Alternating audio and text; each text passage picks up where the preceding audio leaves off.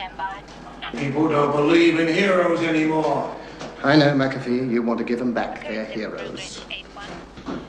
Thanks, Labatouche. You're a real human being.